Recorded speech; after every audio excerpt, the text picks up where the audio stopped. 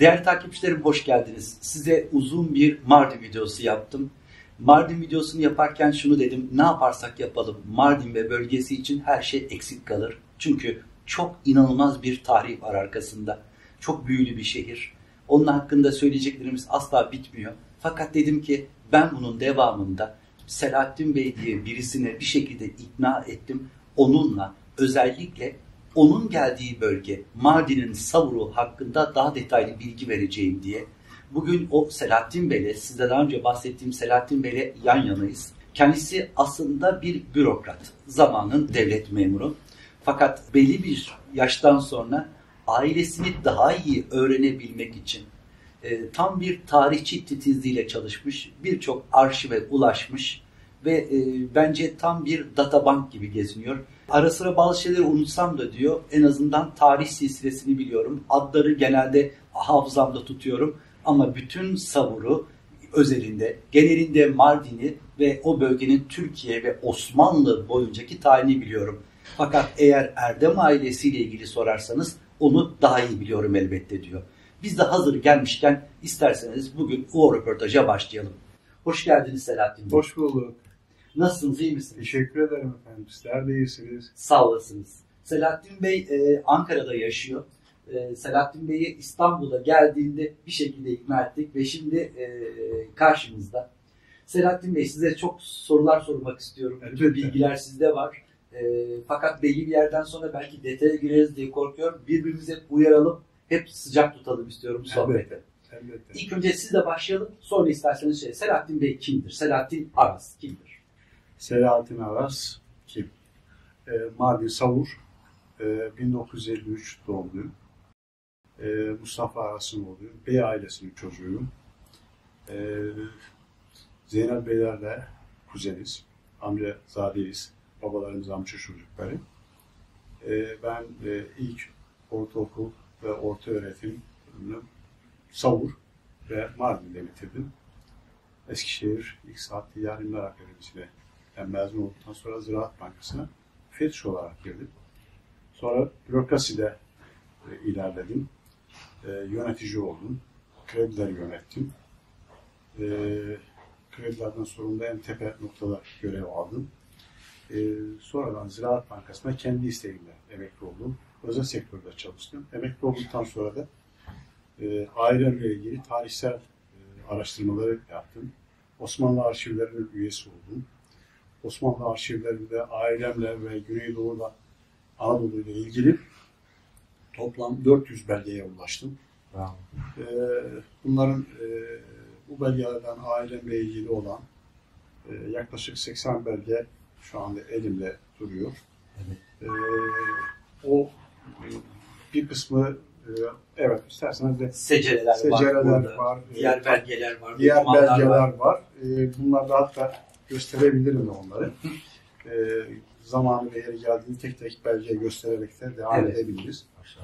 E, ve çok e, ciddi e, belgelerle ulaşınca geçmişte küçükken e, ailemle, büyüklerimle ilgili anlatılanları e, belgelerle desteklemiş oldum. E, belgeleri okuyarak ailemin anlattıklarını e, örtüştürerek e, konuşan tarihle belgeleri birleştirdim. Harika. E, burada da e, sonradan da Zeynel Bey e, zaman zaman Selahattin işte şu nedir, şu bizim neyimiz oluyor, şurada nasıl bir olay olmuş. E, bunları anlata anlata akrabalarıma. Bu sefer sanki tarihi, canlı tarihi anlatır pozisyonuna e, geldim. E, Savur e, farklı bir e, ilçe, Mardin'in farklı bir ilçesi. E, gerek ekonomik ve gerek de siyasi yönden Mardin üzerinde çok büyük etkisi olmuş. Yıllardan beri, yüzyıllardan beri belki de e, hem e, konumu açısından Mardin'e benzer yönü var. E, müstehkem bir yer. E, orun olabilecek bir nokta.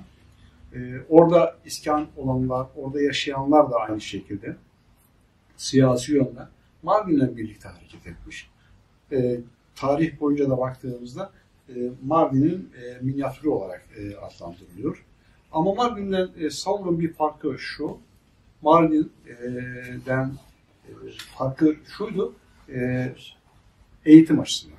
eğitime daha çok ağırlık vermiş. Ve eğitim oranı, okuma yazma oranı her zaman ölçüldüğünde, istatistikler bilgi olarak verildiğinde e, Mardin'de diyelim ki okuma yazma oranı yüzde yirmi ise Savur'da yüzde seksen. Çok şaşırtıcı. Bu Evet. belgeye ben de ulaştım. Lafınızı kesiyorum. Hani Türkiye'deki o okuma yazma oranlarına ve üniversiteye giriş Evet. oranlarına bakıldığında e, zamanında baktım Şavşat çıkmıştı. Genelde Aydın en yüksektir Türkiye'de. Fakat birdenbire benim de karşıma Savur çıkınca şaşırdım. Nasıl olur dedim Mardin'den hani böyle bir şey bu kadar Trakya, Ege dururken e, Mardin'in Savur'un da böyle bir oranı var. Siz de buna çok rahatlıkla Evet, yani bu övünerek söylüyorum. Yani bizim yani okuma yazma oranımız yüksek. E, artı e, yüksek tahsile gitme oranımız da oldukça yüksek.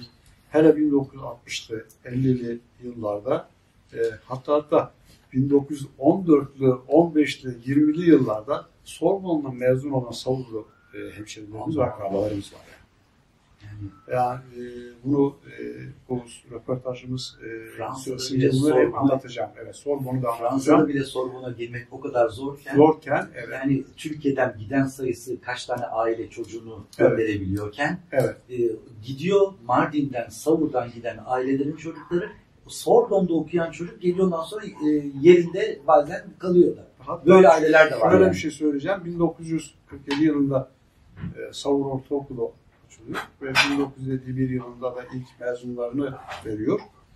E, o zaman Fransızca öğretmeni e, Süleyman Bey Sorbonne mezunu. Yani- şey. E, ortaokul öğrencilerine ders veren öğretmen bile Sorbonne mezunu. İnanılmaz bir şey. Yani, Yani Türkiye ortalamasının ortalaması demiyorum yani. Çok çok üstünde bir şey bu. Evet. E, Savur böyle bir Evet, şey yani onun için savur, ekonomik yönden de savur Mardin'de çok etkili olmuş. Yani tarımın dışında kavak ticareti, ticaret ve ihracatı e, savunun ol- oldukça etkin bir rolü var. Ekonomik yönden de diğer e, ilçelere, ilçelere nazaran daha güçlü durumda durumdaymış yani. Yani, e, yeşilliği var. Yeşilliği var, toprağı var. toprağı var, Bereketli. e, su, sulanabilir arazi var, e, çayı var, e, meyvesi var, sebzesi var. Bunların hepsinin ticareti yapılabiliyordu. E, okuyanı var. E, dolayısıyla ekonomik yönden de. Siyasi Kendi yönden de e, dediğim şekilde ileriki e, zamanda anlatacağım. E, siyasetçisi de oldukça fazla e, Mardin'de. E, bu kadar okuyan aileler tabii ki belli ailelerin içerisinde bazıları sadece bürokrat ya da öğretmen değil, şey de olmak ister. Ailemle ilgili e, ne da soracağım şimdi. Da- Siz kendi adınıza anlattınız. Evet. Yani bir, e, ve daha girişte hemen bir savun Evet. özeti çıkardınız. Evet. Peki bağlı olduğunuz aile kimdir? Bir onu öğrenmek istiyoruz. Sonra benim aklımdaki esas Savuru özelinde baktığımızda aslında Mardin içine geçerli. Ben e, bir turizmciyim. Aynı zamanda arkeoloji ve sanat tarihçisiyim. Ne güzel. E, Bunları bunlardan mütevellit Türkiye'yi de çok gezdim. E, Birçok etnik grubun bir arada olup da ahenkli yaşadığı müstesna yerlerden biri sizin bölgeniz. Evet. Bunu nasıl başardı bunu öğrenmek istiyorum. Bunun bir sırrı vardır muhakkak. Yani e, bazı şehirlerde bunu göremedim ben açıkça söyleyeyim Türkiye'de. Ama bazı şehirlerde 5-6 farklı etnik grubun bir araya yaşayıp da birbirine bu kadar saygı gösterdiği, birbirine hoşgörü, tolerans değil bunlar. Çünkü kim kimi hoşgörü görüyor derler. Yani o kadar büyük saygı gösteriyor ki bunların ötesine düşünebildiği bir yerden geliyoruz. Savur bu kadar değerli. Ee, savurun elektriği bile herkesten önce gelmiş. Bütün bu bilgileri sizden almak istiyoruz. Evet. Hangisinden başlarsanız buyurun. İsterseniz e, hoşgörüden başlayalım.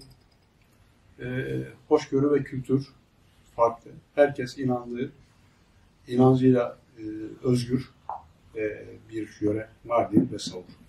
Ve diğer ilçelerimiz de yani diğer ilçelerimiz hakkında Bidyat'ta, e, Nusaybin'de e, şimdi şöyle bir şey söyleyeceğim.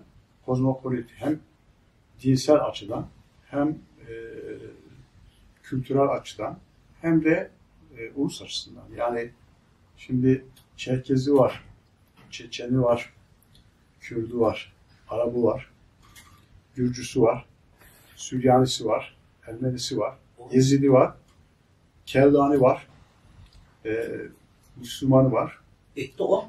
Evet, bunların hepsi bir potada neyle olabilir? Karşılıklı saygı ve kültür başka bir şey diyemiyorum. Hoşgörü. Evet. O hoşgörü babalarımızdan, dedelerimizden e, kız alışverişi olmuş, akraba olunmuş. Öyle bir bağlantı. Öyle var. bir bağlantı var. Öyle olunca herkes inancında hür, herkes düşüncesinde hür, herkes de kendi orijininde yani kökeninde geldiği yerden e, övünerek anlatıyor. Ben Kürdüm diyor, ben Arap'ım diyor, ben Çerkezim diyor, ben Çeçenim diyor.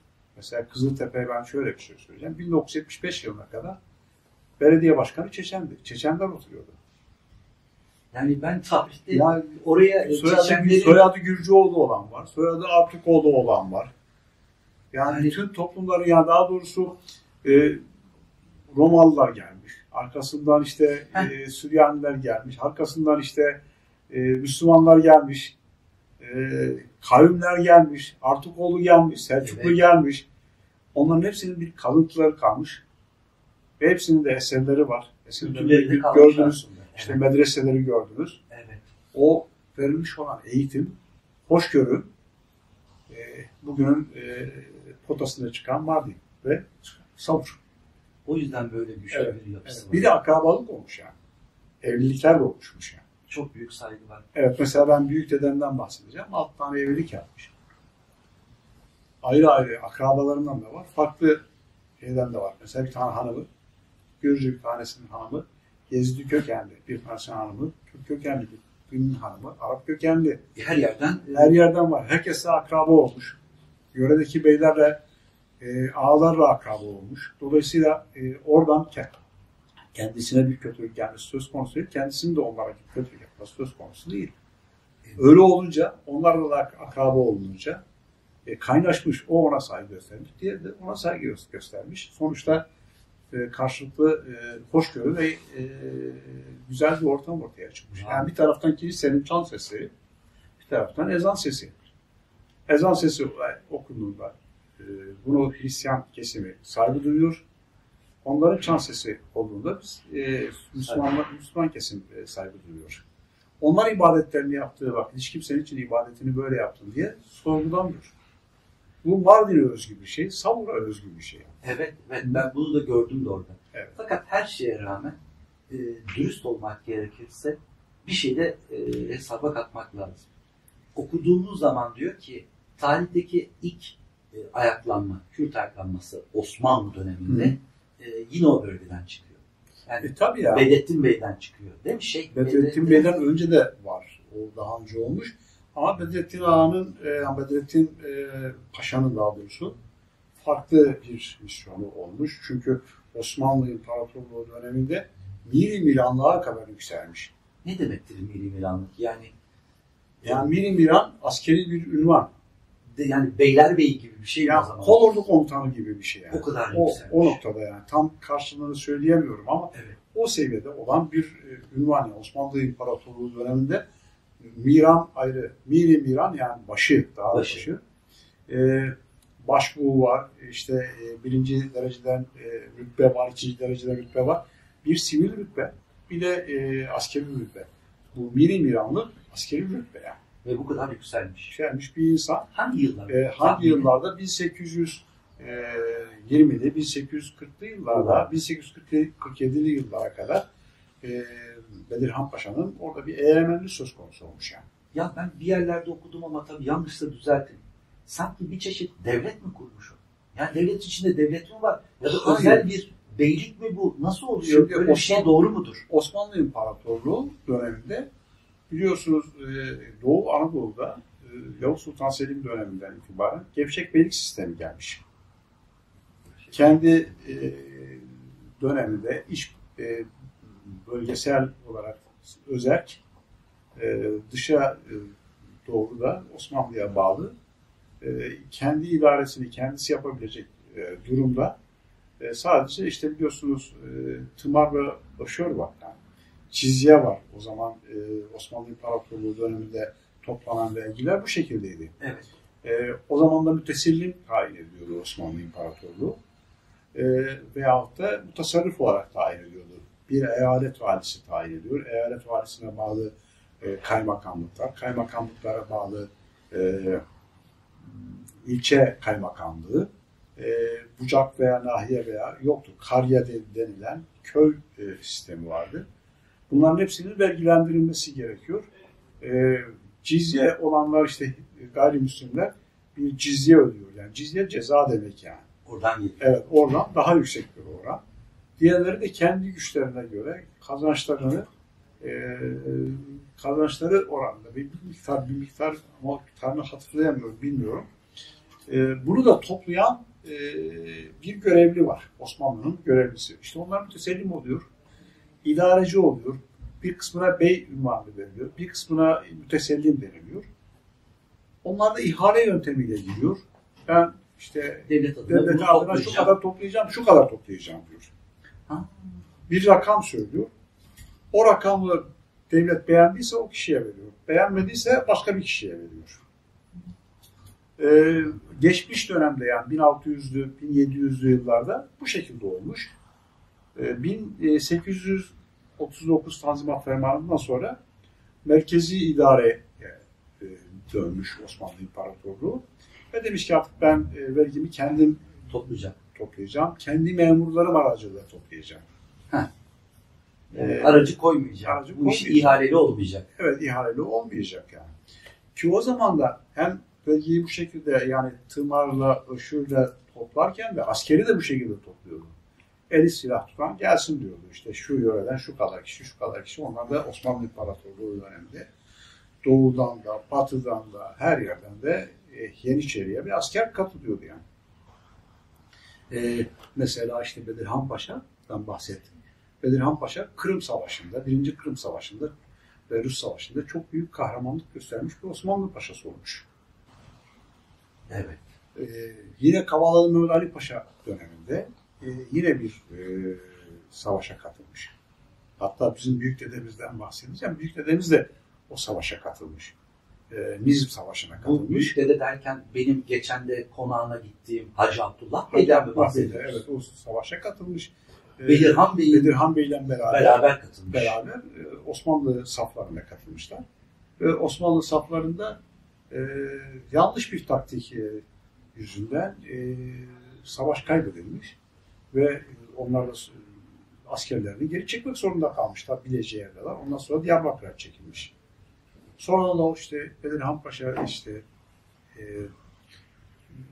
bağımsızlığını şey ilan edince e, Kavalalı Mehmet Ali Paşa o bizim savaşından da Kütahya anlaşmasından sonra e, Osmanlı İmparatorluğu gerek Suriye'de, gerek Mısır'da ve gerek Güneydoğu Anadolu bölgesinde hakimiyeti azalıyor. Şeklen bir hakimiyet kalıyor. Bunu fırsat bilen e, yöre beyleri herkes kendi beyliğini biraz bağımsız bir şekilde Osmanlı'ya şey vermeyerek, e, vergi vermeyerek e, bu şekilde idame, idame ettiriyor. E, sonraki yıllarda da işte e, bu şekilde devam ediyor 7-8 yıl. Sonra Bedirhan Paşa'nın Nasturilerden cizye talep etmesi ve onların da bir seyidin kafasını kesip ona kellesini göndermesi üzerine e, şeye e, Nasturilere, yani Hakkari bölgesindeki Nasturilere saldırıyor. 16-18 bin Nasturi'yi öldürüyor. Yani çok evet yani yok ediyor. Aslında Nasturiler bir çeşit Hristiyan. Hristiyan tabii. Şeylerde e, Bedettin Bey Müslüman fakat Müslüman Seyit yani e, Seyit miler mi? E, Halid bin Velid'in soyundan gel, geldiği söyleniyor. Halid bin Velid'in. Ehli evet. Beyt midir yani? Ehli Beyt sayılır. Sayılır. Evet. Yani Seyit ailesinden yani. Oldukları evet, oldu. Dolayısıyla Abbasilerin şey oluyor Halid bin Velid yani. Vay. Evet. Yani öyle olunca da e, bu sefer e, İngiliz misyonerler devreye giriyor. E, bunun haddini bildirin diyor. Osmanlı da o zaman gön, şey gönderiyor, elçi gönderiyor. İşte bir anlaşma sağlanıyor. E, günün o günün koşullarında Şeyh Nazım Bey'i gönderiyor. Şeyh Nazım Bey bir anlaşma sağlıyor ama Osmanlı hep buna e, kuşkuyla bakıyor. Kuşkuyla bakıyor. E, sonradan tekrar e, tanımama devri oluyor. Kendi adına bir hutbe okutup işte para bastırınca şey Bedettin Bey. Bedettin Paşa yani. Bedettin, Paşa. Bedirhan Paşa. Onun üzerine e, yöre halkına e, önce kendi etrafındakileri e, kendi saflarına çekmek istiyor. Sonradan da işte savaş açıyor. Savaşta e, Bedrettin Bey yeniliyor. E, Siirt'in işte Erok kazasına, kalesine kaçıyor. Oradan da teslim oluyor. Şimdi Bedirhan Bey belli bir zaman sonra artık diyor ki ben bağımsızlığını ilan ettim. Çünkü Bir insan değil de kendi ya. Kendi adına- adına, hayır. Kendi, kendi adına adına para bastırırsa bu Ama çok farklı. diyemiyorum yani. Çünkü tarihimizde bir şey söylenmiyor ama bir isyan olarak görüyorum. ben. Ufak da olsa bir evet. isyan. Evet, evet. Yani ben diyor nasıl zaten bana devlet buranın yönetimini biraz verdi. O bir parça daha ileriye götürüyor. Herhalde. Yani Kendi adına ondan da. ya belki öyle belki de ileriki aşamada olur. Evet. Ama Osmanlı buna müsamaha etmiyor gördüğüm kadarıyla. Etmiyor. Ve baştan biz Aslında belki önce sesini çıkartmıyor. Ee, ne zaman ki Nasturlu'da e, savaş açınca e, İngiliz misyonerler devreye girince İngiltere hükümeti de bunun haddini bildireceğim deyince Osmanlı e, Mecburen mecburen e, giriyor ve Anladım. e, onu Müşir Topal Osman Paşa e, şeyinde e, öncülüğünde e, hem Van bölgesinden hem de e, Mardin bölgesinden e, üzerine iki koldan giriyor. Ve e, üç ay devam ediyor savaş. 1847 yılında e, savaş kaybediyor e, Bedirhan Paşa. E, teslim alıyor. Teslim alan da bizim büyük dedemiz. Yani aracı oluyor. Hacı Abdullah. Hacı Abdullah bir aracı oluyor. Ona teslim olacağım diyor. Çünkü o bir seyit ailesi diyor. Güveniyor. Sadece ona güveniyor diyor. Onun üzerine aracı oluyor. Diyor ki benim benim bana ve çocuklarıma ve aileme namusuma dokunmayacak sözü verirlerse ben teslim olacağım diyor. Bizim büyük dedemiz Hacı Abdullah Bey de aracı oluyor. Tamam diyor. O teminat veriyor. Teminat diyor ki veriyor. ben Evet. Onun üzerine teslim oluyor.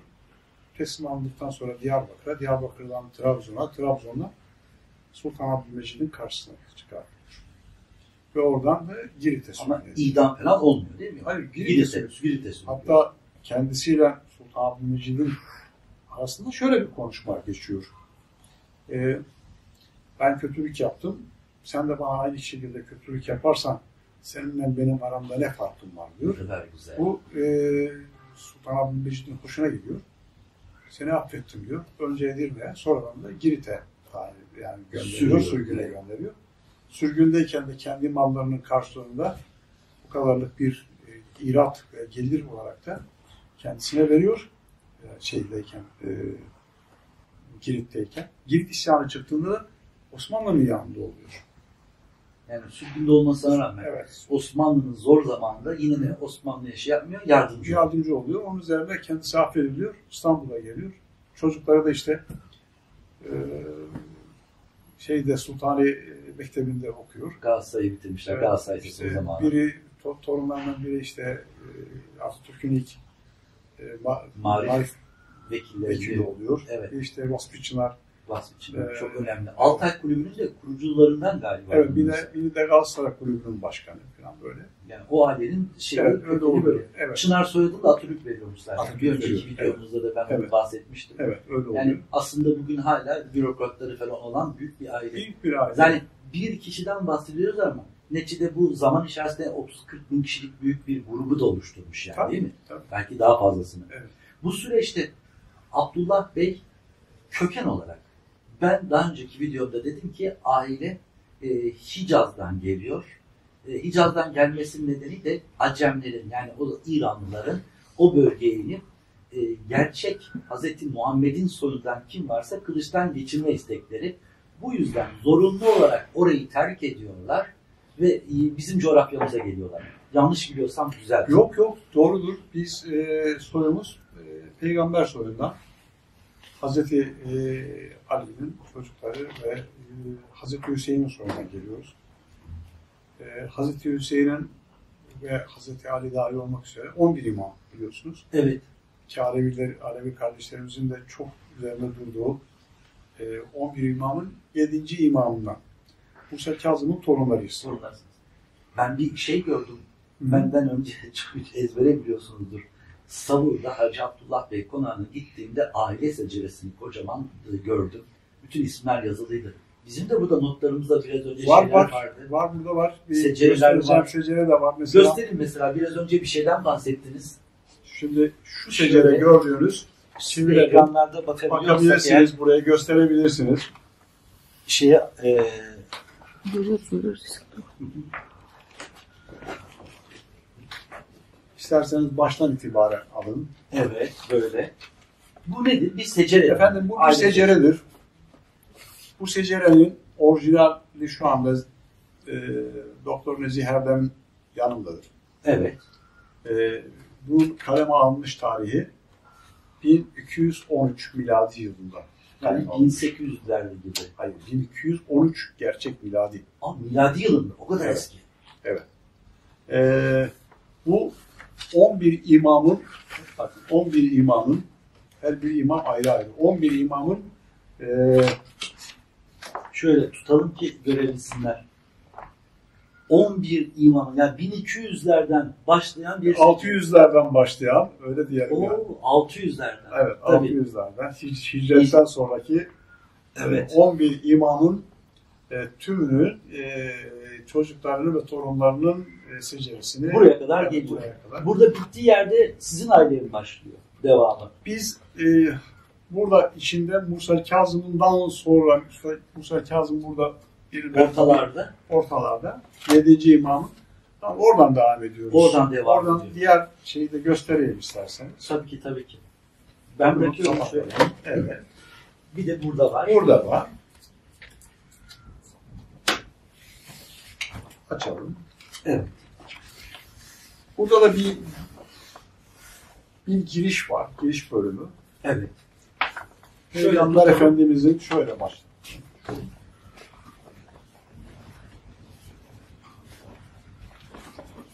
Başlangıçtan itibaren. Evet. Bu Peygamber Efendimizin üst kısmı. Ee, bu secere e, Ahmet el-Rufai'nin seceresi. Yani oradan Peygamber Efendimizin soyu o taraftan başlıyor. Evet. Yani şeyin secerenin Evet. üstü o, Evet. sonu bu diyorsunuz. Sonu da bakın nereden başlıyor bizimki? Geliyor, geliyor, geliyor. Ben Oradan. izah edeceğim. Evet. Şuradan itibaren, Hı hı. şu isimlerden itibaren Sizin sülale başlıyor. başlıyor. Yani daha üstü daha üstü 1200 1600 yıllardan itibaren Sizinki başlıyor. bizimki başlıyor. Yani Ee, birisi kalksa kötü niyetle şuraya buraya ekleme yapsa sülalemde da, yapanlar da oluyor. Oldu mu? Oluyor. O, olmuşlar. Çünkü Nitekim bana resmen- Zeynel Bey de gösterdi. Ee, Allah ha, içeriğini okusa, okusa içeriğin ne olduğunu bilmiyor.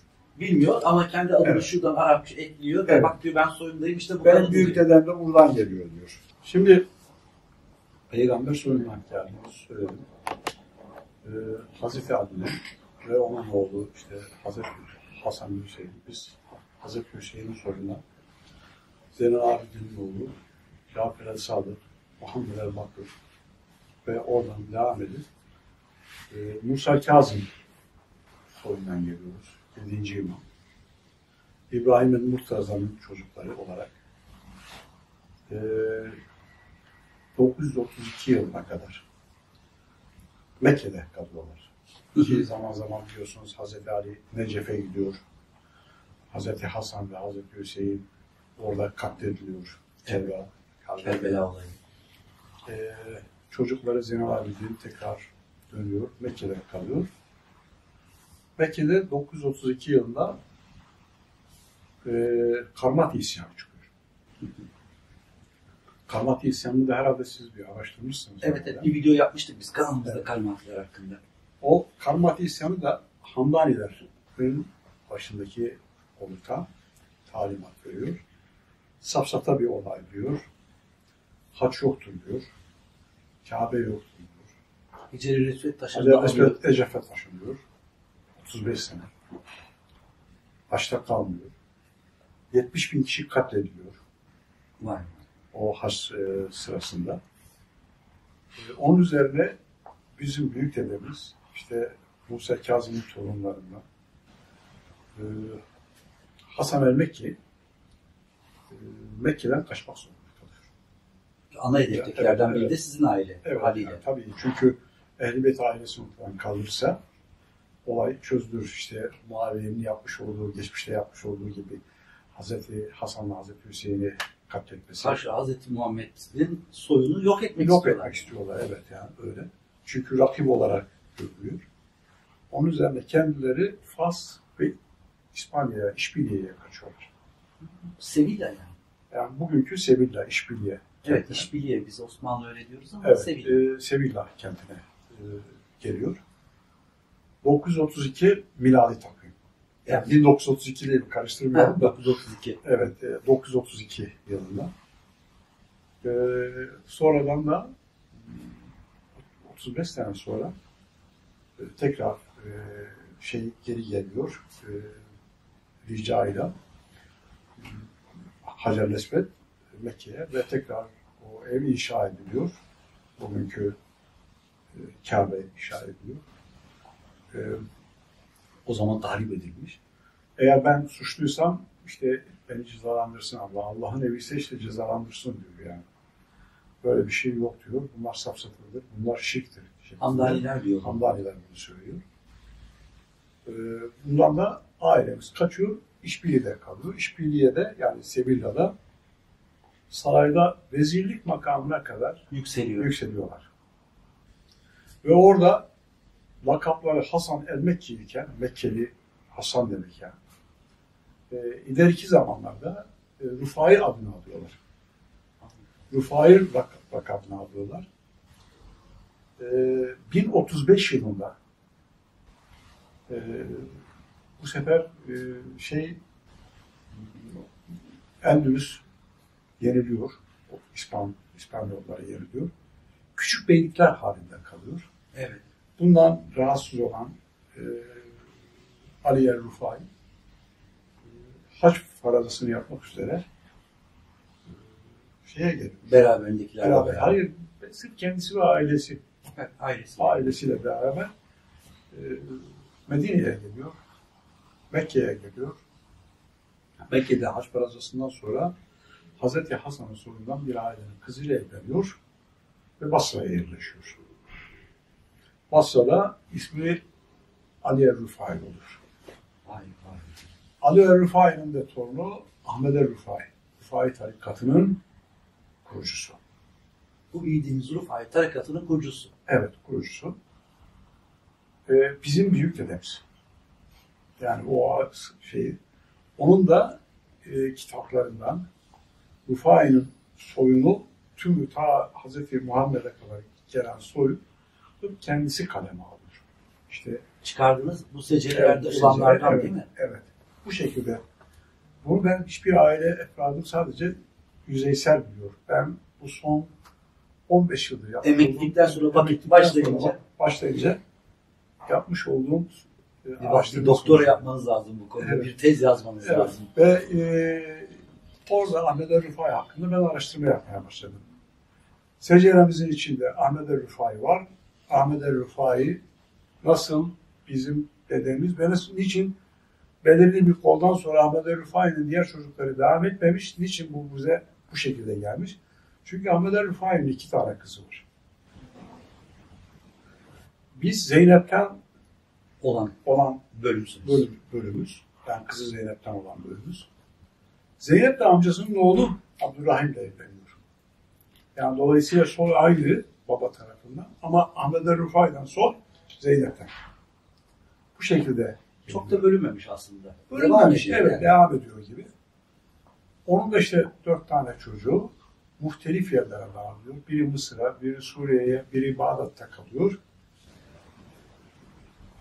Pardon, geriye tekrar döneceğim. Ali el-Rufai Basra'ya geldikten sonra Abbasi halifesi tarafından diyor ki kardeşim sen diyor Ehl-i Beyt'sin. Burada da benim sıkıntım şu mezhepçilik var. Hı. Mezhepçilikle baş edemiyorum.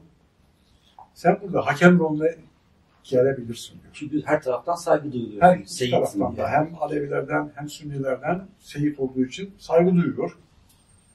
Hakikaten de bastırıyor isyanları. Herhangi bir şey olmuyor.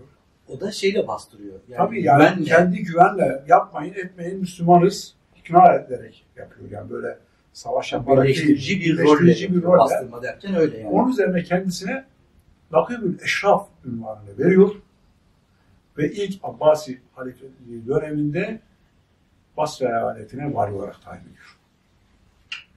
Zamanın ombudsmanı. Evet gibi. Heh. Sonradan da onun torunu Ahmet el Rufai, Rufai tarikatını kuruyor.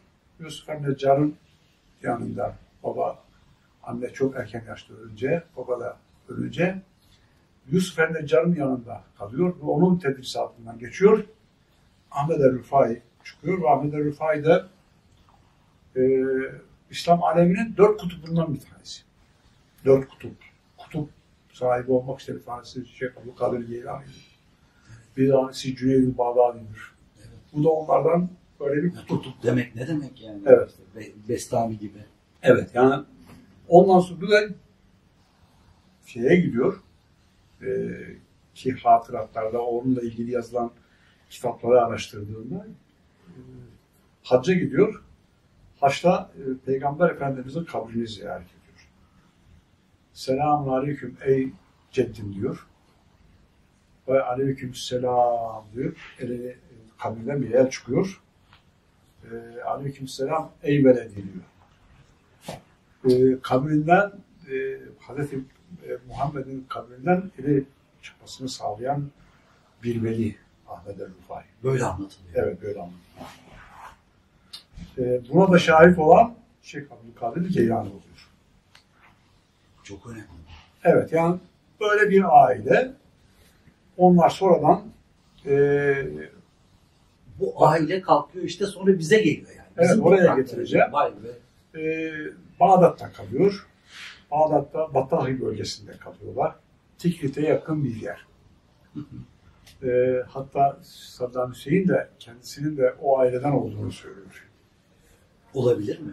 Olabilir çünkü e, Tikrit'le Battahi çok yakın. Ee, İhtimali var mı? ihtimali var. E, 1623 yılında Acemler Bağdat'ı işgal ediyor. Bağdat'ı işgal ettiğinde yine hedef e, işte tarikatlar ve e, türbeler, zaviyeler ve e, peygamber sonundaki seyitler. Canlarını kurtarma pahasına Şeyh Cemalettin kendi medresesini bırakıyor. Yedi kardeşiyle birlikte keleklerle Bağdat üzerinden Musul ve e, Hasankeyf'e geliyor. Hasankeyf'te Zeynel Bey'le ka- ta- e, tanışıyor. Geçmiş bir zamanda türbesi nakledilen Zeynel Bey. Bu e, şeyde e, camisi olan Zeynel Abidin'le o mu? Hayır o Nusaybin'deki Zeynel Abidin değil. Değil. Bu Hasankeyf'teki. Hasankeyf'teki Hasankeyf'te biliyorsunuz baraj yapılacak diye e, bir e, türbe vardı. türbe taşındı. Türbe o Zeynel Bey'in Yekpare bir türbesi. şekilde Zeynel Bey'in türbesi. Evet, O. onunla tanışıyor. Evet. Zeynel Bey diyor ki siz burada kalacaksınız. Gitmeyeceksin. Evet. Hasankeyf'te 15 sene kalıyor. Oradan Midyat'ın e, Acurlu köyüne, eski ismi Derizmine köyü. Millet Yolu. Evet, Derizmine köyüne geliyor. Seneler takribi kaç o geldi? 1623'ten sonra 15 yıl koyun. 1638. Evet, O yıl. yıllarda 1635-1640 yıllarında oraya geliyor. Yedi kardeşten bir tanesi Tüllo'ya gidiyor. Siirt Tüllo'ya. Evet. Bir tanesi e, Midyat'ta kalıyor, bir tanesi Hasankeyf'te kalıyor. Bir kardeş de diyor ki ben Derizmine'den Savur, Tizyan'a gideceğim. Savur'a gelen Şeyh Cemalettin oluyor. Heh. Şeyh Cemalettin Savur'a gelip yerleşiyor. E, sizin atalede o aslında. Evet, atadedemiz o. Tabii bir medrese hocası, medresede eğitim veren biri, bilgiye biri, araştıran biri, kısa bir sürede e, kendisine danışılan rehber biri oluyor sanırım. E, ve onun yol gösterdiği şekilde halk ona itaat ediyor. Çünkü niye? Bilgisinden, görgüsünden, dini eğitiminden, Ayrıyeten öyle bir sülaleden, aile- öyle bir aile aileden soydan geldiği için. seyit olduğu için. Ee, onun oğlu Hacı Kasım ve diğer yeğenleri bu sefer Osmanlı oraya el atıyor. Kendisi beylik ünvanını verelim.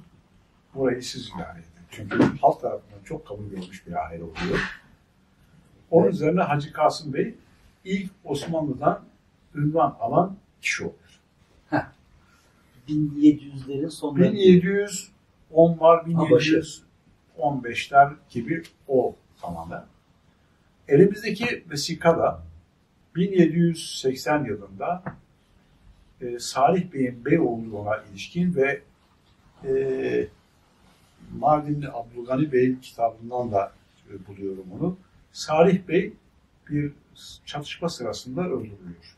Yani Mardin'in kuşatılması veyahut da kurtarılması sırasında Salih Bey öldürülünce onun o amcasının oğlu Abdurrahman Bey seçildiğine ilişkin bir ferman var. Bir, bir belge var elimizde. Belge var şu anda. Elimizde Şu- bunlardan bir tanesi. Ha, bunlardan biri bu. Evet yani Bunu da çıkardınız. peş peşe evet, bunları da çıkarttım yani bel- belgeleri. Evet. Gösterebilirsiniz hatta kameraya da gösterebilirsiniz. Burada fotokopilerini görüyoruz. Belgelerde bunlardan bahsediliyor. Evet ve bunların da ben bunu Türkçeleştirdim. Aldım, tercüme ettirdim. Tamam Türkçe. E, yazı Osmanlıca. Osmanlıca yazılmış. Bunları da e, anlaşılır bir dilde e, şu anda da şu kitabın içinde de Bu Savur kitabı var. Savur kitabı var. Evet. Savur kitabının Muhteşem içinde kitap. evet. Ben hemen işte Onu biz gösteririz şöyle. evet yani burada bakın tek tek Evet onları ben bunlar gösteririm. tek tek bunların da Türkçesi Şöyle bir kitap. Dev gibi bir kitap. Savur üzerine. Burada Türkçesi de var. Yan tarafında yazılmış. Ee, görebilirsiniz büyüklüğünü. İçinde birçok vesika, fotoğraf var, belgeler var. Bunu bulabilirseniz kaçırmayın derim. Buyurun. Evet. Salih Bey'den sonra işte bir süre o aile sürekli biri vefat ettiğinde yaşlı çocuğu veya yeğeni veya kardeşi oluyor ama o ailenin içinde seçiliyor Savur Bey'i. Savur Bey'in özelliği nedir? Bir, seyit olması. iki dini bilgiye sahip olması. Üç, adaletten ayrılmaması. Dört, hakem rolüne soyulmuş olması. Beş, Osmanlı adına vergi toplayınca da incitici olmaması. Ki bu da çok önemli biliyorsunuz birçok kişi vergi vermemek için yaşıyor yani. Ee, Zor bir görev. zor bir görev tabii. Bir de 9 o yıllarda da sap- yani o yörenin beylerinden de asker alınıyor. Asker toplarken de sıkıntı çekiyor. Askere gönderdi Osmanlı. Yani hem devlet adına halinde. parayı toplayacaksınız vergiye. Evet. Hem gerektiğinde asker olarak çağıracaksınız. Evet. Ee, devlet aslında Osmanlı çok güzel yönetiliyor. Oradaki de en sevilen adama veriyor. Hakkaniyeti olan adama Evet. veriyor. Ve sırtından bu görevi atıyor. Ne güzel. Evet. O zamana kadar. Ne zamana kadar? Ta Tanzimat Fermanı. Tanzimat Fermanı'na kadar. Tanzimat Fermanı'ndan önce e, Hacı Abdullah Bey'in babası İbrahim Bey bir tartışma sonucu bir köylü tarafından öldürülüyor. İbrahim Bey Savur'da evet Savur'da. İbrahim Bey Savur'da Ahmedi köyünün yani Başkavak köyündeki köprüyü yapan e, kişi. Savur köprüsünü yapan, o Savur köprüsü yıkıldı. Avine'deki köprüyü yani Sürgücü'deki köprüyü yapan kişi. Kişi. Hacı İbrahim Bey. Hacı Abdullah Bey'in babası. Evet. Onun da dedesi Hacı Kasım Bey eski cami kiliseden bozulma olan bölümü kendisi onarıyor ve camiye çeviriyor. Bu şeydeki e, Savur'daki cami. İstanbul'daki hayır merkez cami değil eski cami. Eski cami. Kalenin dibindeki cami. Karenin dibindeki. Evet. Evet. Orayı bilmem gezdiniz mi görme şansınız oldu. mu? Gördüm. Orayı da gördüm. Ee, o camiyle birlikte e, sonraki sonraki yıllarda diğer cami oluyor. O zaman da Hacı Abdullah Bey 2 yaşında mı 3 yaşında. Başka erkek kardeş de yok.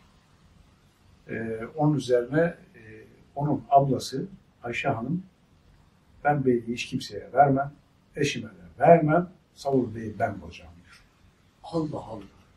Ee, Yani Midyat'ta bir kadından bahsettik. evet, Yani filmi Evet. de olmuştu. Evet, Hükümet Ana gibi. evet.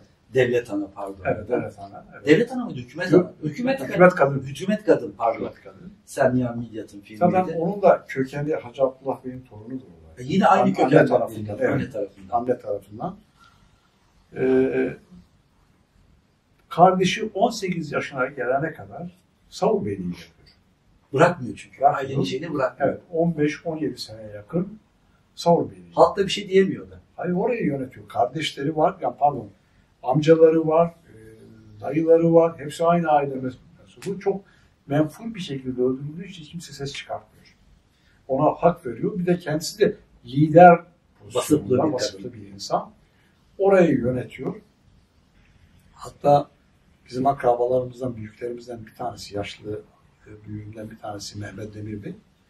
Bana kendisinden anlattığını anlatıyorum. Ee, bir köye gidiyor.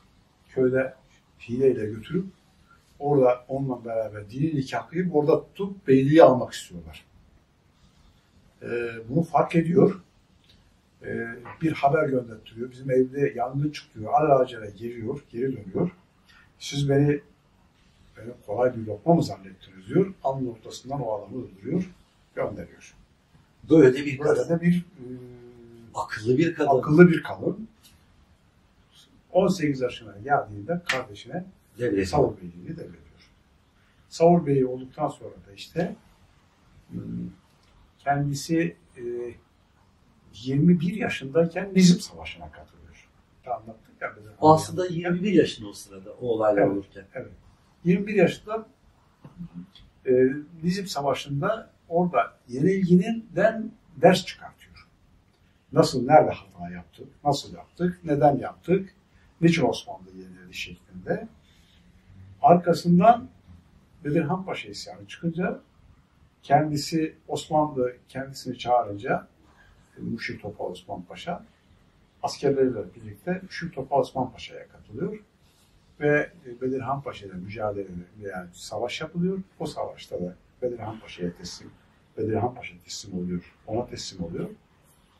Ve e, onun üzerine de Osmanlı kendisine e, bir madalya ve bir de kılıç veriyor.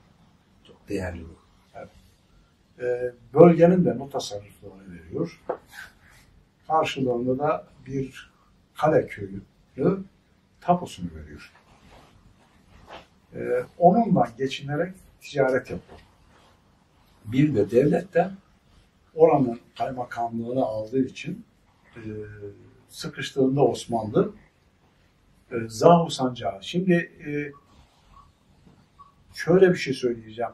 Osmanlı'nın e, siyasi yani idari yapısını değerlendirdiğimiz vakit bir Anadolu Bey, Beylerbeyi, Rumeli Beylerbeyi, onun dışında kantonlar ve eyalet sistemiyle yönetmiş. Evet. E, Diyarbakır eyaletine eyalete bir vali tayin etmiş. Evet. E, her e, tayin ettiği valinin altında da e, kaymakam tayin etmiş. Sancak kaymakamı. Sancak kaymakamı vilayet. Ama kaymakam. Çünkü vali bir. Vilayet ama kaymakam. Bir de kaza kaymakamı var. Savur kaza. Kaza. Evet. Yani ilçe. Evet. Ee, Mardin kaza yani sancak. Sancak. İl. Yani İl, il. Sancak demek il. Evet. Eyalet de oradaki genel vali. Evet. Ee, eyalet valisi eyalet valisinin altında kendisine Zahu Sancağı Kaymakamlığı veriliyor. Zahu bugün sınırlarımızın dışında. Evet. Bugünkü Zahu Köprüsü onun zamanında yapılmış.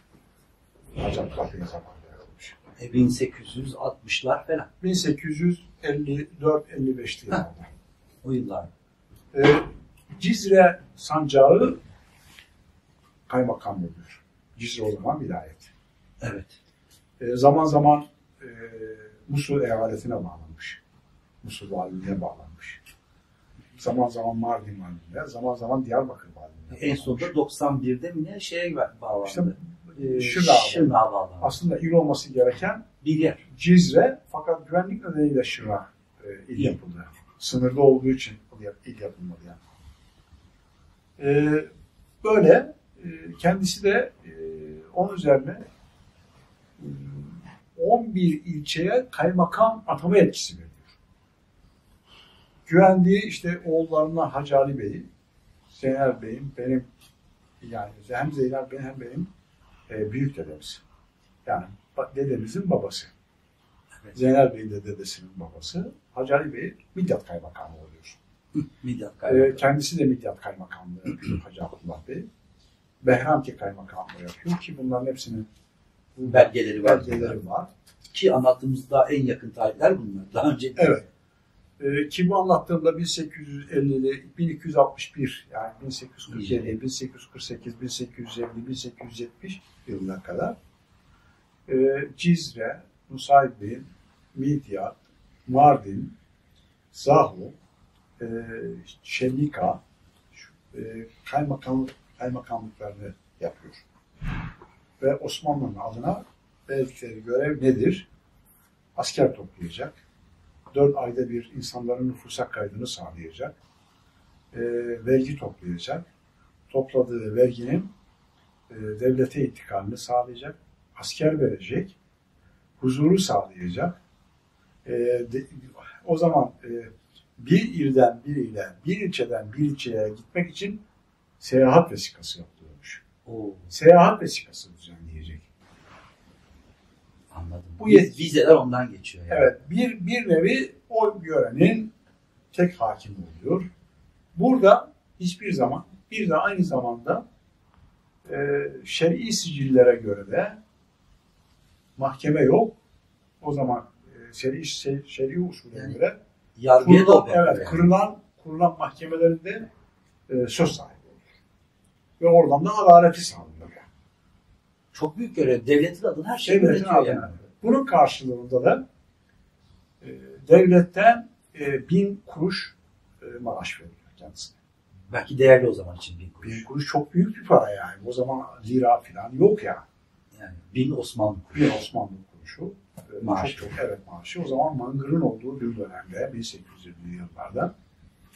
Sultan Abdülmecit kendisi e, Bedirhan Paşa'nın isyanını bastırdığından ötürü Kürdistan eyaletinin valisi, pardon e, Fatihi olarak yorumluyor ve madalya dağıtıyor. Bir Bin- madalya. 1847 yılında da Diyarbakır ismini Kürdistan eyaleti, Diyarbakır eyaletinin Kürdistan eyaleti yapıyor. Ne zamana kadar? 1876 yılına kadar. 1876 yılında e, İlk meşrutiyet. ilk meşrutiye Sultan Abdülhamit tahta geçince Diyarbakır ismi tekrar eski ismiyle Diyarbakır e, eyaleti olarak değiştiriyor. Bu kılıç bu kadar değerli bir kılıç. Nerede şu anda? Maalesef bilmiyoruz. İşte e, saklanıyor evin alt kısmında. Toprak açılıyor. Oraya gömülüyor.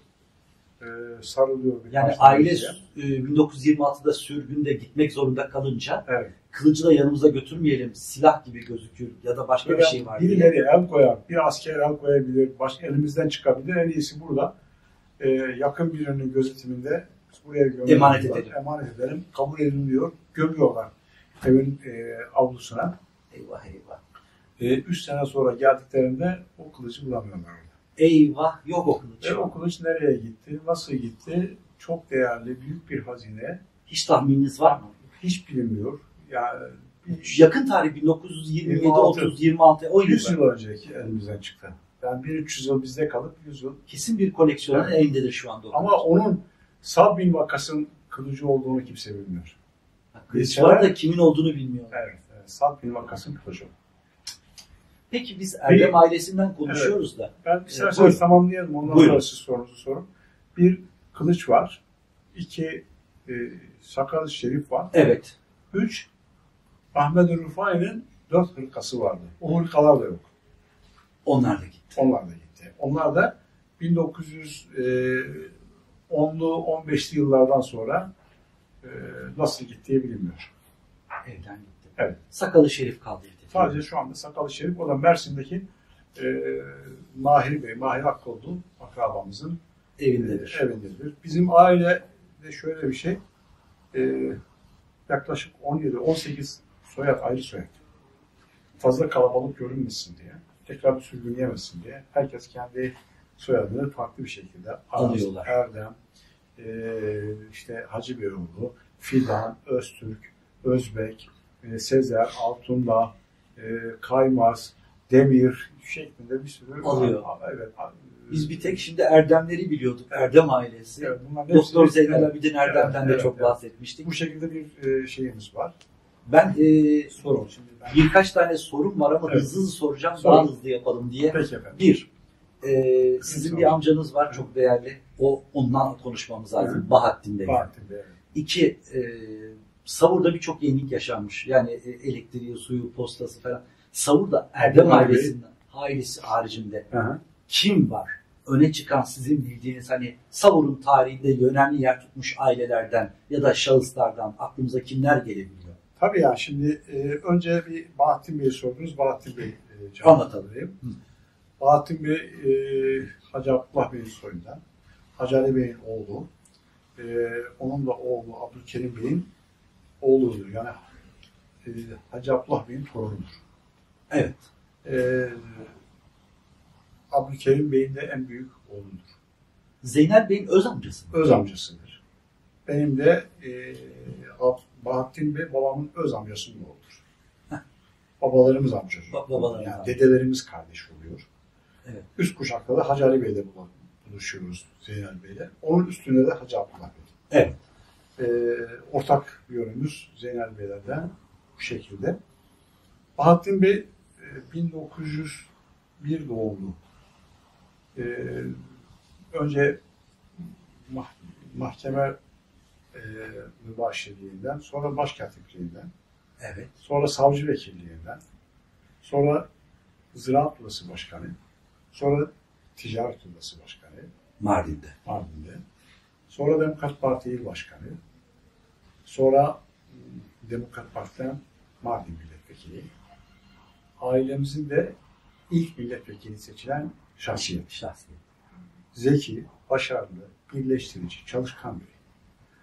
Yani Mardin'de ticareti yaparken düzgün bir şekilde bir ticaret yapmış. Ziraatı yaparken öncü ve güzel bir ticaret yani e, ziraat yapmış. Örnek olmuş. Örnek olmuş. Mardin merkezde e, bir savununun Mardin'de il başkanlığını almış olması büyük bir olay. Teveccüh görmüş, Mardin halkı tarafından seçilmiş. Yani Mardin halkı tarafından aday gösterilmiş. Evet yani sadece Savur'dan değil. Mardin'in tamamından. Bahattin amca öyle bir şahsiyet ki e, siyasette, siyasette de 1960'ta e, tutuklanıp gözaltına alınmış. E, ihtilalle beraber. İhtilal, ihtilalden sonra Sivas'a gitmiş. Sivas'taki Kürt ağalarla suçlanmış. Ve oradan 3 yıl Dikili'de e, mecburi istikamet tabi tutulmuş. İzmir Dikili'de. İzmir Dikili'de. Ondan sonra size aktif siyaseti bırakmış. İki çocuğu vefat etmiş, iki çocuğun cenazesine gidememiş. Acıları görmüş de bir insan yani. Buna rağmen dimdik ayakta durmuş. Ve hiçbir zaman da bu bana yapıldı dememiş. Siz siz onu şahsen tanıyordunuz. Tanıyorum ben ondan şöyle bir şey söyleyeceğim. Benim bu aileyle ilgili, savurla ilgili bütün bilgileri 4-5 kişiden öğrendim. Bir tanesi benim amcam Rüştü Bey. Bir tanesi amcazadem Mehmet Nazım Açan. Bir tanesi de benim babam Mustafa Aras. Bir e, Abdülgani Aras Savur Belediye Başkanı. Ve en sonunda da Bahattin Erdem Bey. Bunlardan e, Bütün bu evet, şeyleri. bilgilerin hepsini bu şahıslardan öğrendim yani. Onların söylediklerinden. Onların söylediklerini de sonradan e, şeyle bütünleştirdim. E, Osmanlı arşivlerindeki e, belgelerle. Belgelerle beraber Yani tasdik ettiniz o onları. e, e, ispat etmiş oldum. O söylenen, e, konuşulan tarihi belgelere lerle desteklemiş oldum. Yani. Benim görevim sadece araştırmam bu oldu yani. Bahattin Bey de işte 1954 yılında Demokrat Parti'den milletvekili seçildi ve çok güçlü bir şekilde seçildi. O zaman e, ezici bir çoğunlukla Mardin'de ve rakibi kimdi? Rakibi de e, hal, baba, babasının halasının oğlu. Kamil Boran. Yani annesi e, Hamdullah Bey'in kızı, akrabamız. Baba annesi Hacı Bey'in kızı. Onun rakibi Cumhuriyet Halk Partisi'nden ve tahsilli. O zaman Cumhuriyet Savcısı, savcılığından ayrılmış, gelmiş Cumhuriyet Halk Partisi'nin içinde çok konuşan, böyle e, Ateşli bir ateşli adam. bir e, fanatik bir Cumhuriyet Halk Partili. Onu Ekarte edildi. ve e, seçildi. seçilmiş yani. Ve Demokrat Parti'nin o kendisinin il başkanlığı olduğu dönemde büyük bir başarı sağladı. Bravo. Bahattin Bey. Yani belki devam edecekti ama Türkiye ihtilali görünce Tabii 1983 yılında bir anımı anlatacağım onunla ilgili. Ee, oğlu Milliyetçi Demokrasi Partisi'nde milletvekili adayı oldu. Ee, ikinci sıraya koydular. Ee, yani seçim daha kim milletvekili çıkartabilsin diye.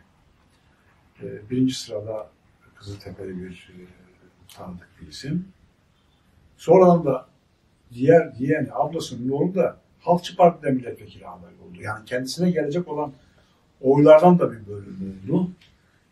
Aldı. Bütün sandık seçmen listelerinde şöyle bir taradı. Hangi köyde kaç tane oy var? Bizim oyumuz dedi 42.480 oy gelecek. o kadar biliyor. Evet yani. Sadece bir köyde yanıldı. O da o gün kızmışlar. Biz oy vermiyoruz demişler. O köy oy vermemiş. Geri kalan bütün köylerin hepsini tuttu.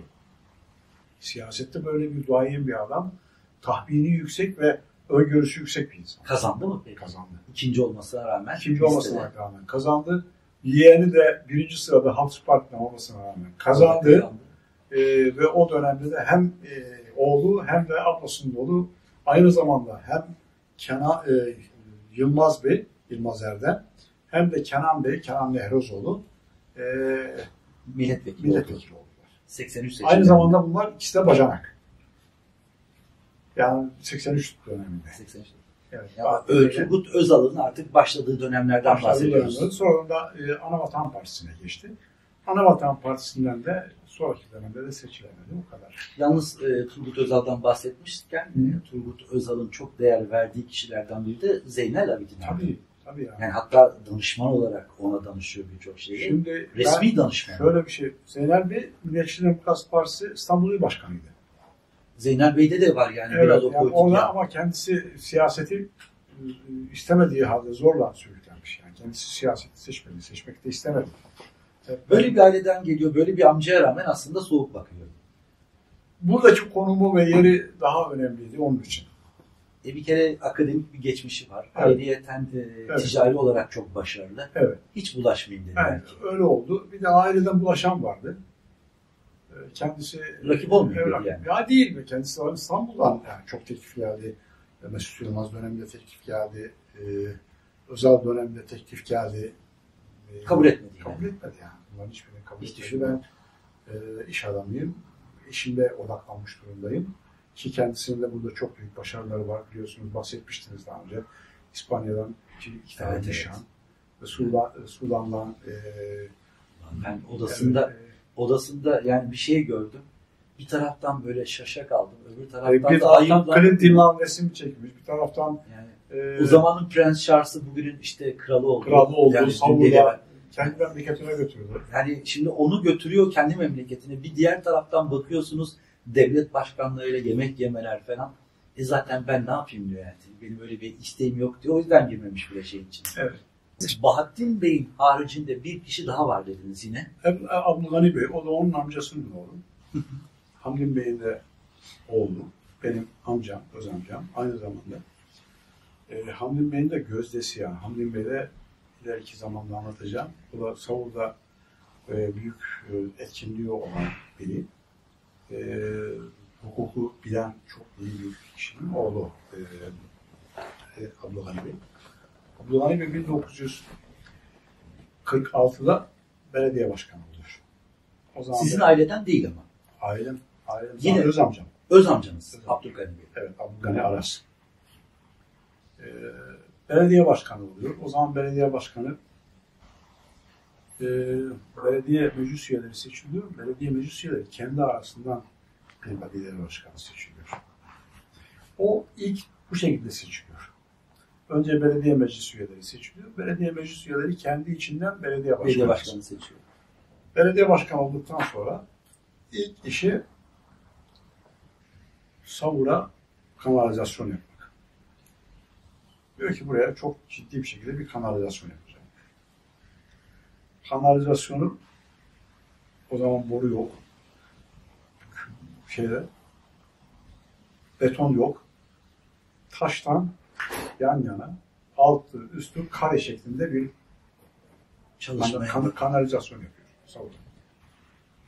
Ve savuru o sivrisinekten, kokudan kurtarıyor. Evet. 1949'da 50'li yıllar. Sonra savurda su var, evlerde su yok. Mardin'in de sorunu suyla. Evlere su gelmiyor. Diyor ki bir proje yapacağım. Devlet kanalıyla su depoları yapacağım. Su depolarından evlere su taşıyacağım.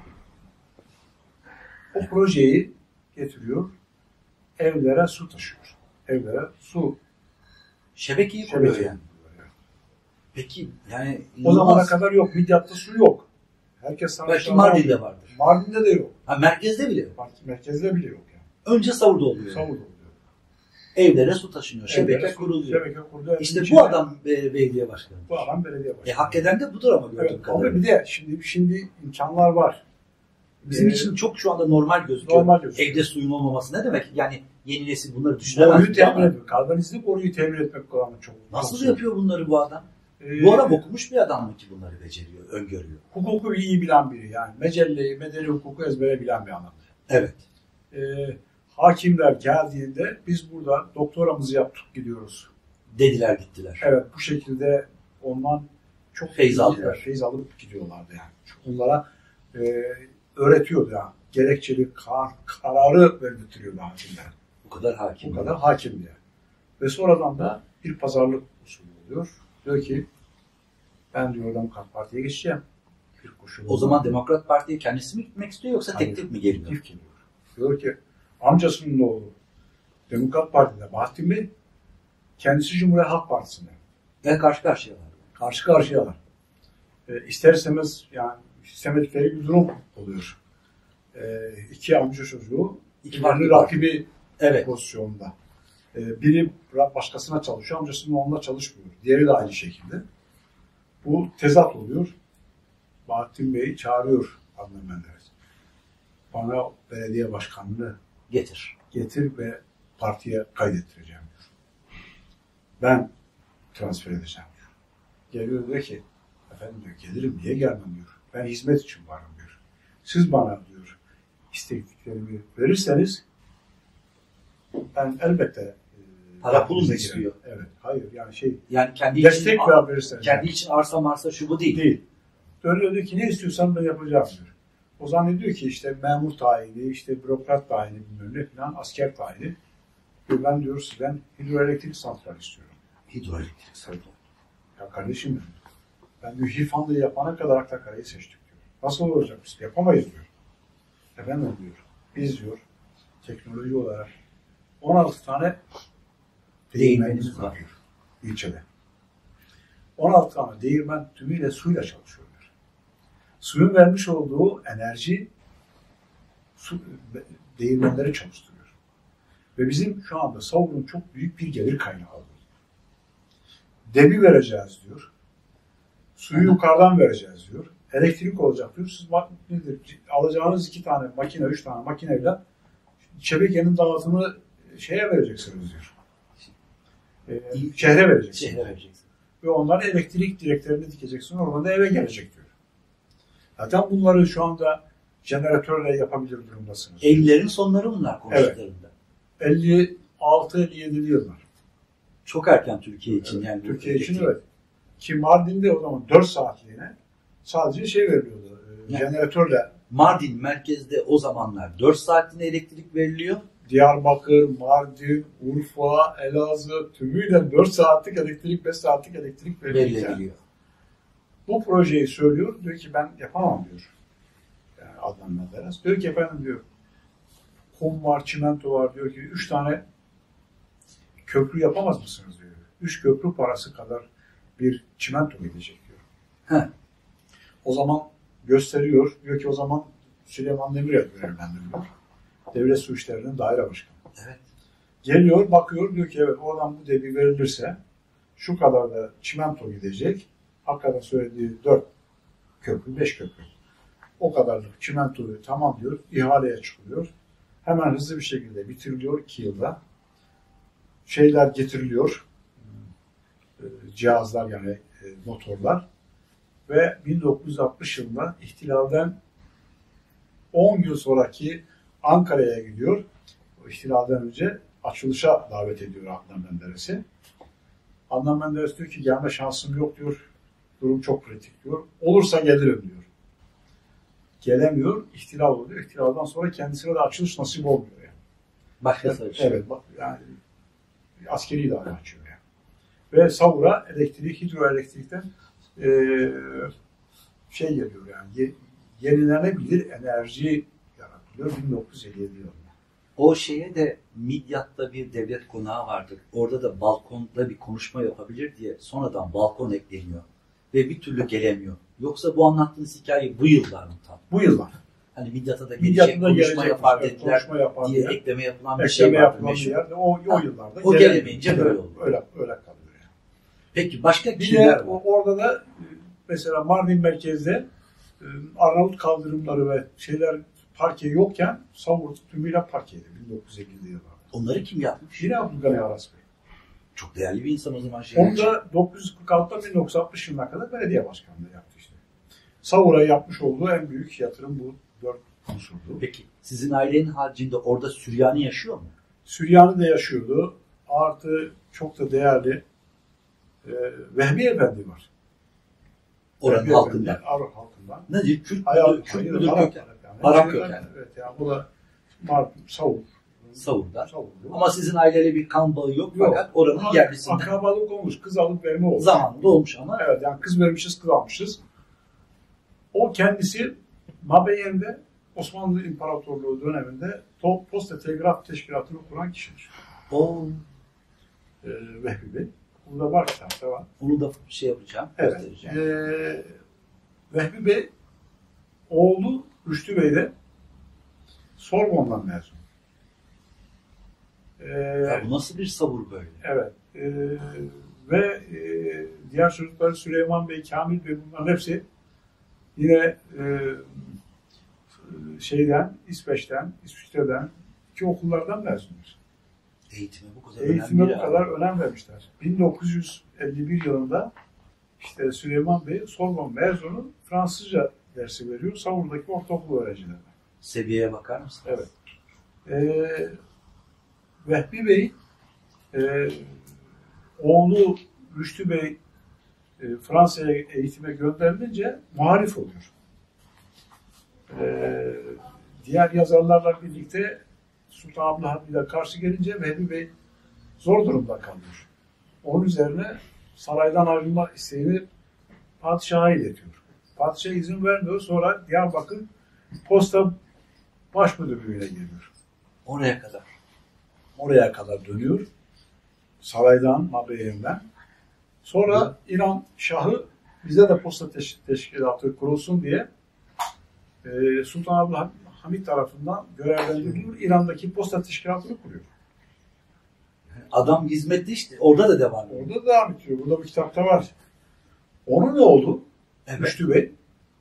E, çok güzel şiirler yazan, çok güzel e, kitapları olan e, bir zat, yazar. E, genç tanzi, tanzimatçılar bölümünden.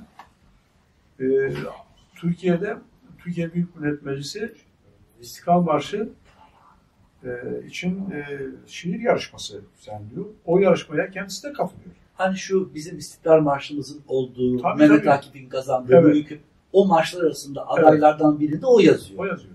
Rüştü Bey. Evet. Rüştü Bey'in e,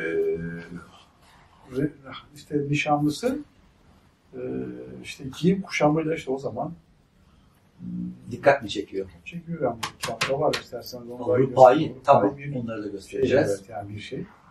Bir de Hacı Ahmet Ağa var. Hacı Ahmet Ağa da O da mı Arap kökenli yoksa o da yani Kürt kökenli, Arap kökenli Muş'tan geldiği söyleniyor ama kökenli tam bilmiyorum. Bilmiyorum. 33 köyün sahibi. 33 köyün sahibi? O da Hacı Abdullah Bey'in damadı. Ee, onun kızı Hamdullah Bey ile evli. Ee, ve e, onun iki çocuğu Sorbon'da 1914 yılında Sorbon'dan mezun oluyorlar. Allah Allah. Sülaleye bak. Bakın ve e, bir de bir Hamdullah. Bu arada seyircilerimizi hatırlatmak için söylüyorum. Türkiye'de herkes hani önemli okullardan Boğaziçi Üniversitesi'ne falan girmek istiyor. Ee, Fransa'da da Sorbon onun kadar değerlidir. Fransız çocuklarının, gençlerinin bile hep heves ediyor. Galatasaray mezunu olduğumuza göre siz daha iyi bilirsiniz. Estağfurullah. e, yani Galatasaray mezunlarının büyük büyük kısmı e, Sorbon'a gider. Evet, evet. evet yani. Ee, öyle kolay kolay adam almaz Sorbon. Evet. Ee, Onun diploması çok değerlidir Fransa'da. Evet. Ee, öyle bir göz bebeği okuldan biz 1900'lerin başlarından itibaren bakın kaç tane insan saydık. Gidip savur gibi yerden çıkıp nerelerde okumuşlar. Ee, ondan şey değil zaten öyle bir yer ki öyle bir toprağı var ki Ve o Vehbi Aziz Bey'in Sancarlar da oradan çıkıyor. Tabii o. Vehbi Bey'in oğ- oğlunun kızı e, 1940 yılı e, Ankara Olgunlaşma mezunu. Kızını da okutmuş yani. Ya sadece oğlanları değil direkt kızları da okutuyorlar. Yani o zaman o günün koşullarında kızların evde kapandığı bir dönemde kızı Ankara Olgunlaşma mezunu. E biz peki nereden öğrenmişiz böyle Güneydoğu'da kadınlara hiç söz hakkı verilmez, okutulmaz diye? Demek ki Yani yapan aileler var. Sav- savur hariç. Savur hariç diyorsunuz Savur değil mi? hariç yani. Savur en yakın mıydı acaba Mardin'e? Ömerli diye bir yer var. Ömerli Savur'un bir köyüydü. Ha ondan ayrıldı sonra. Savur'dan ayrıldı. Yeşilli diye bir şey var. Yeşilli'de bir köydü. Şimdi ilçesi oldu. İlçe oldu. Savur'a en yakın o zaman e, Mardin'e en yakın Savur. Savurdu. Ama iki tane daha yer ayrıldı. Evet, Kızıltepe, Kızıltepe'ydi. Kızıltepe artık Savur, Mardin'in bir arka bahçesi pozisyonuydu. Evet. Koçhisar'dı onun ismi. Ama şu anda merkezden yüksek nüfusu var E Kızıltepe. tabii yani oraya çok büyük göç oldu yani. Kim? Ömerli bölgesinden çok büyük bir göç geldi. Göç oraya. geldi oraya. Ee, Ama orada Kürt e, nüfus yoğunluk. Yani 100 kişinin 80 kişisi neredeyse diyorlar e, Tabii, tabii. Kürttür diyor Kürt. genelde. ama, Musaybin de ama Kürt. 1975 yılına kadar da Gurslu ve Çeçenler ağırlıktaydı orada. Bu Çeçenler iki dönem geliyorlar. Bir Rus-Çeçen savaşında gelen var. Bir de e, 1800'lerde gelen hatta bu Nusaybin'in yanındaki Dara diye bir yerde Çeçen mezarları bulundu. Yani e, bin e, şeylerin 1800'lerin sonundaki savaştan gelen Çeçenler de var. Şimdi e, Sultan Abdülhamit Çerkezler var, Çerkezler var. Mesela ben soyadı Cizre olan bir arkadaşım vardı. Evet. Çerkez, Cizreli ama soyadı Cizre, Cizreli ama Cizre'de hiç kalmamış. Kalmamış. Ee, Çeçenler de aynı durumda. Soyadı Gürcüoğlu olan var. Ee, mesela Ahmet Ah- Ahmet pardon e, Masum Türker. Onların lakapları Beyli Ahmet Türki. Türk Ahmet'in evi. Ama aslında Türkiye olması Yani Türker, ha, Türker soyadları oradan geliyor işte. Ha, Masum Türkerler. Türk kökenli. Türk kökenli. Yani Kürt değil, Türk kökenli. Ee, şeyler Gürcüoğlu soyadı olan var, Artukoğlu soyadı olan var. Evet. Yani onlar dolayısıyla öyle o işte Savur'dan e, böyle Aziz Sancarlar var. Aziz Sancar. Sencer ailesi mi acaba o meşhur? Oradan mı geliyor Aziz Sancar? Değil ya onlar kendilerinden konuştum. Hatta bizim onlarla da bir e, hısımlık var yani şöyle bir hısımlık. Yine kız alıp verme var. Kız alıp verme var. Ee, Aziz Bey'in abisi Tahir Bey amcamızın Rahmetli. evet evet rahmetli. Onun hanımı bizim amcamızın kızı ee, Gülşen Aras. Yine onun, birleşmiş aile. evet e, onun küçük kardeşi Hasan da benim teyzemin kızıyla evliydi. Yani dolayısıyla bir Aslında Mardin yine şey, yani bir İstanbul küçük bir yer aslında. hısımlık var. Onların deyimlerine göre Horasan'dan geldiklerini söylüyorlar. Evet öyle demiş. Bizim abisi. yani bizim bildiğimizde onlar da Savur'un gerçek evlileri olarak biliyoruz onları. Siz ne zaman çıktınız Savur'dan? Ben 1970 yılında tamamen Çıktınız. ayrıldım yani. Ee, E siz oradayken Aziz Sancar'ı görmüşsünüz. tanıyorum canım. Yani beraber çok Tabii koştunuz, ha- top oynadığınız var. Hayır top oynadığımız yok ama onunla bir hatıralarımız da var yani Aziz Bey'le. E çünkü e, sizden büyük ama. Bizden büyük yani. Zeynel abilerin e, sınıf arkadaşıdır. Onlar Yaş olarak da bizden büyüktür. Aa, evet çünkü e, onlar Ee, onlar yaş 68 yılında e, do- doktor olup geldiğinde o zaman ben kendisini tanıma fırsatım oldu. çünkü İstanbul'da birincilikle bitiriyor tıp fakültesini. Sonra Savur'a doktor olarak geliyor. Siz o Savur'a zaman doktor olarak gelmiyor. Savur'un bir köyüne doktor olarak geliyor. Abine'ye, Sürgücü'ye doktor olarak geliyor. Ha, tam merkeze de değil. Evet. İstemiyor. Köyü istiyor. Halbuki Köy. kendisi merkezden. Tabii, Buna rağmen köye gideyim. Şimdi Savur merkezde ben hatırlıyorum. Sabah 5'te köylü gelir. Pazarını, Savur pazarı sabah 5'ten 8'e kadar kurulur. 5'ten 8'e kadar pazardan gelenler, köyden gelenler Aziz Bey'e Savur'da muayene olur. Ha. Kendi avlularında bir bölüm açmıştı. O bölümde bir perde çekmişti. Bir muayene e, tahtası, bir şey, yatağı. Orada milleti muayene ediyordu. İlaçlarını da veriyordu. Tahlillerini de kendisi yapıp Mardin'e götürüp tahlilini kendisi yapıyordu. Sonradan da e, Ya Türkiye'deki o zaman işte hala da Cerrahpaşa Tıp Fakültesi falan orayı birincilikle biten bir adam geliyor. Evet. Türkiye'de bu kadar yer varken memleketi memleketine seçiyor ve ediyor bir köye de hizmet ediyor.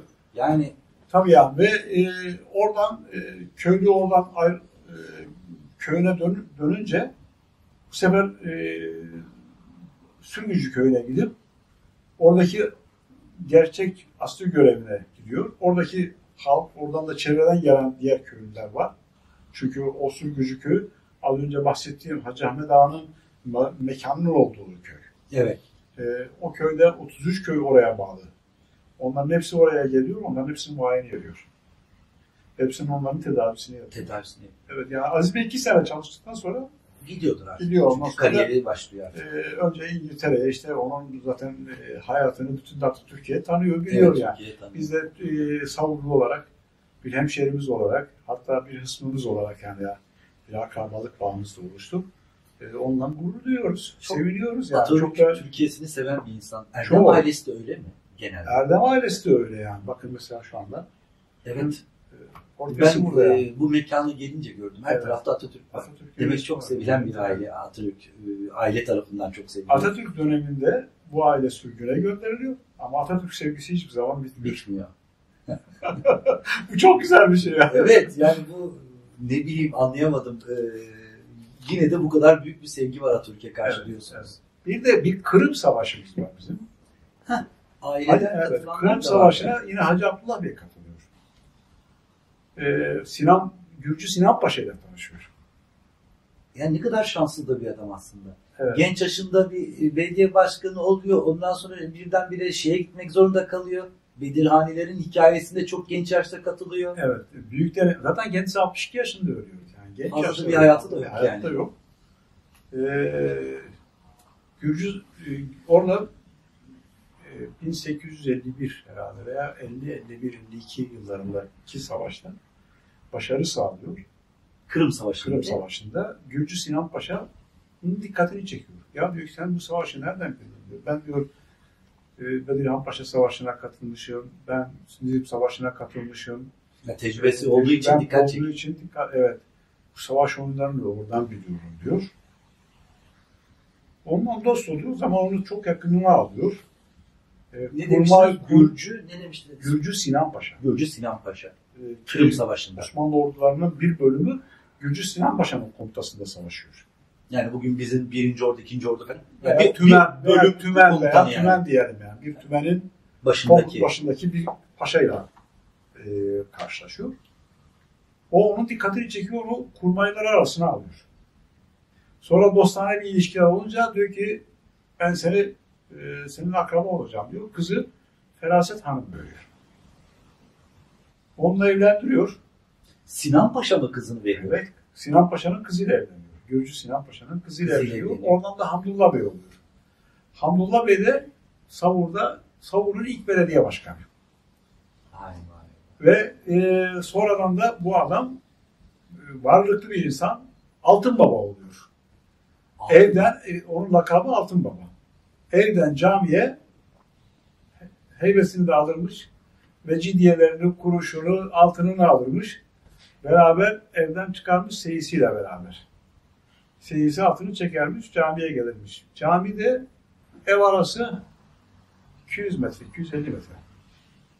Kadar bir uzaklık yani. Ee, dönerken de seyisine sorarmış. Millet dizilirmiş. Herkes heybesinden bir şey çıkartırmış. Tasını koyarmış. Sorarmış. Bunun ne ihtiyacı var? Oğlu askere gitmiş. Ona göre Para veriyor. Bunun beş tane yetimi var ona göre. Bunun işte e, kocası ölmüş, askerde ölmüş veya bilmem ne olmuş. Veya kocası çok ağır hasta. Veya kendisi hasta. Veya işte bilmem neyi var. Tam bir ağa yani. Ağadan daha çok yani bir baba. Onun Sevilen bir zat Sevilen bir zat. Kişinin mali durumuna ve ihtiyacına göre bir kuruştan Mecidiye'ye, liraya kadar dağıtılmış her cuma günü. Yani sanki ben karma olarak bakarsak tabii bunları söylemek yanlış olabilir ama sizin ailenin omuzlarına bir görev verilmiş. Adaletli olarak madem böyle bir soysunuz adaletli olarak hep siz insanlara yardım edin. Şimdi efendim ya elbette öyle olmuş. Hiç kimseyle de yani hiçbir zaman ağalık, derebeylik, beylik böyle Hiç kimsenin malına konmadınız mı? ya Çökmediniz konmamış mi? yani. Yani mesela dedelerden birisi gelip kalk oradan ben güçlüyüm, bu köyü ben aldım. Öyle şeyler yaşamamışlar. mı? Yaşamam biz yaşadık yani. Bizim elimizden aldık. Ha, sizin elinizden aldılar. Yani siz Evet. gidip kimsenin malına çökmediniz. Yani. Çökmedik. Ben şöyle bir şey söyleyeceğim. Bir kuruş maaş alan bir insan E, çok yüksek o zaman o zaman koşullarına göre şu anda 1951 yılında neredeydi size vermiştim oradan. Ha şurada. Şu gazete gösterebiliriz. Evet. 1905 Kasım 1951 yılında Ulus sesi. Ulus Sesi, Ulus'un Sesi gazetesi. Evet. Ee, yazar e, Naci Kum, bu aynı zamanda müze müdürü. Evet. Yazıyor burada Mardin'in doğu e, ilçelerine seyahat diye. Seyahat diye. Bu bölümde isterseniz e, Hacı Abdullah Bey ne yapmış oradan görürsünüz. Tamam. E, bir vakıf kurmuş. Evet. Şurada herhalde cami mali bölüme gelirsek şurada herhalde. Tamam. Ben bunu sesli olarak e, şey yapacağım. Şimdi e, ben anlatayım sonradan şey. size o camileri söyleyeyim. Hacı Abdullah Bey bir vakıf kuruyor. Kurduğu vakfa kesinlikle kesinlikle ailesinden biri katılmayacak diyor. Vakıf senedinde. Hiçbiri de görev almayacak diyor. Allah Allah. Vakıf senedinde. Ve hiçbir ailesine, hiçbir fert de bu vakfı yönetmeyecek diyor. Allah Allah. Şartı o.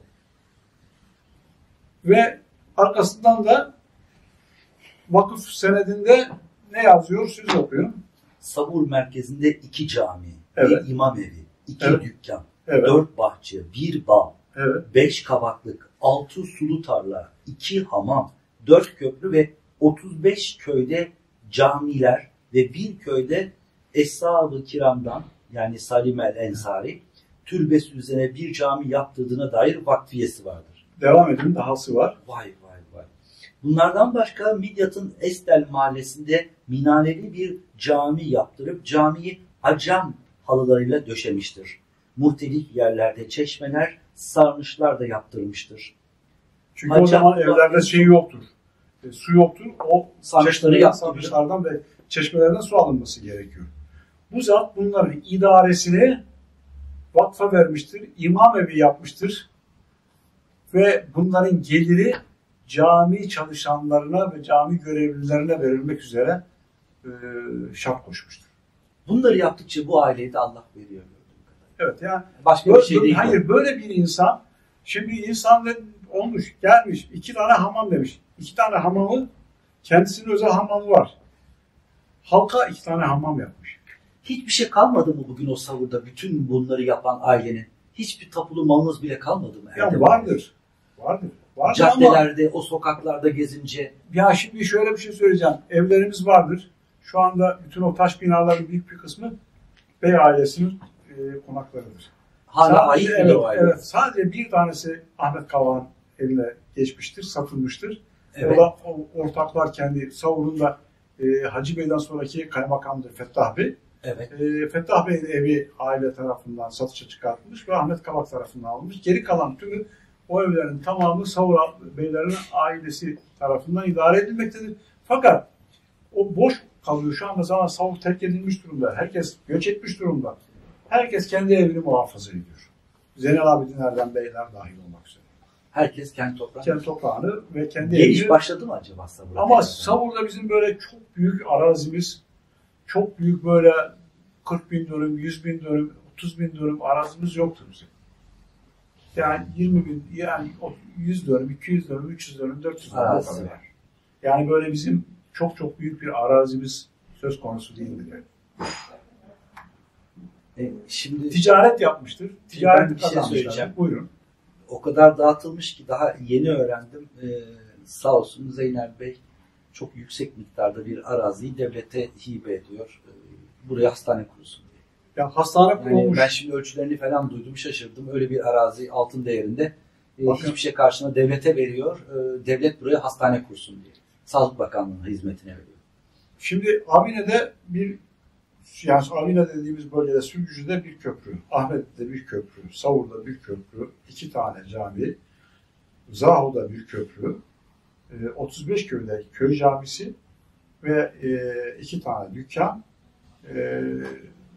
Yani şu andaki Savur e, Merkez Camii Hacı Abdullah Bey kendi evine yakın olsun diye yapmıştır. Ve kendi parasıyla yapmıştır. Evet. Kendi imkanlarıyla yapmıştır. Mesela bizim dedelerimiz ticaret yapmıştır. Ticareti nasıl yapmışlardı? Hayvan satın almıştır. Evet. Hayvanı ortakçıya vermiştir.